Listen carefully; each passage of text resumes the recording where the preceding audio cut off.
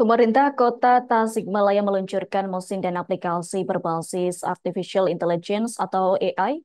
Kegiatan eh, tersebut dilakukan usai upacara hari jadi ke-23 Kota Tasikmalaya di halaman Balai Kota pada Kamis 17 Oktober Menurut JK terkait aplikasi Haitasik tersebut kegunaannya yakni untuk pelayanan masyarakat di kelurahan dan hanya cukup dengan membawa KTP dan surat pengantar. Untuk informasi selengkapnya akan disampaikan langsung oleh rekan wartawan Tribun Priangan.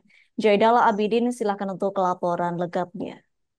Ya, terima kasih uh, Adila uh, melaporkan uh, pemerintah Kota Tasikmalaya uh, menggelar uh, serangkaian acara salah satunya uh, dari puncak acara ini uh, melaksanakan upacara.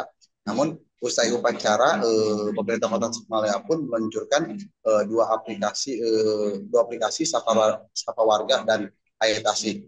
Untuk dua aplikasi ini memang sudah dilakukan uji, uji coba sebelumnya, namun untuk untuk tahun ini lebih dikonversikan lebih meluas salah satunya untuk aplikasi Hayatasi aplikasi Haitasik ini eh, kegunaannya untuk melakukan pelayanan di tingkat kelurahan. Jadi setiap warga yang akan eh, melaksanakan eh, non perizinan maupun yang lain eh, hanya membawa KTP dan eh, dan kartu keluarga. Tidak hanya itu, dari serangkaian eh, Tasik ke-23 ini, pemerintah Kota Tasikmalaya pun eh, melakukan eh, beberapa eh, memberikan penghargaan eh, penghargaan ke beberapa eh, insan olahraga baik baik dari cabang eh, cabang olahraga sepak bola maupun yang lain bahkan tak hanya itu dari perusahaan eh, swasta yang berkecimpung di wilayah Kota Tasikmalaya pun diberikan eh, penghargaan oleh pemerintah Kota Tasikmalaya. Menurut PJ Wali Kota Tasikmalaya CK Firduansyah dua aplikasi, dua aplikasi ini memang eh, diluncurkan sekaligus eh, menambah pelayanan eh, di eh, wilayah Kota Tasikmalaya yang mencakup 10 ke kecamatan.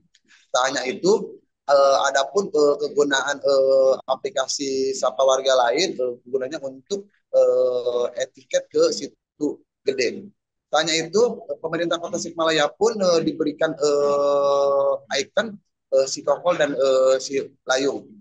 Ini eh, merupakan eh, ikon di wilayah Kota Tasikmalaya. Seperti diketahui, eh, Kota Tasikmalaya pun eh, menggelar beberapa rangkaian acara seperti festival makan eh, makan bakso, bahkan bazar untuk UMKM di wilayah eh, komplek area Dadaha.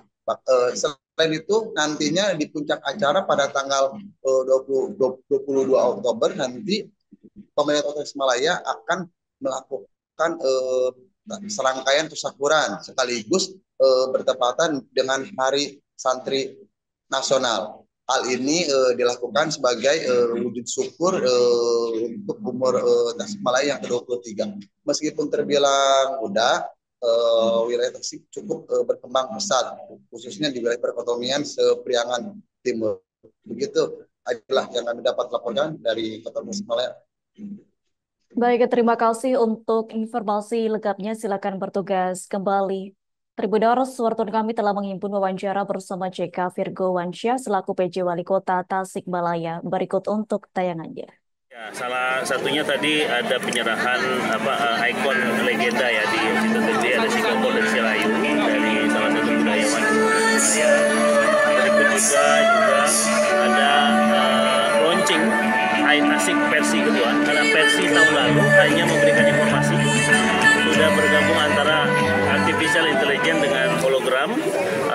untuk saat ini, sebagaimana janji saya tahun lalu, akan diberikan juga ditambahkan dengan pelayanan.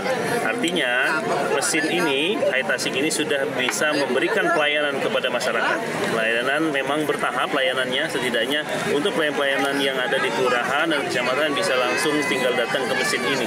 Download Tribun X sekarang, menghadirkan lokal menjadi Indonesia.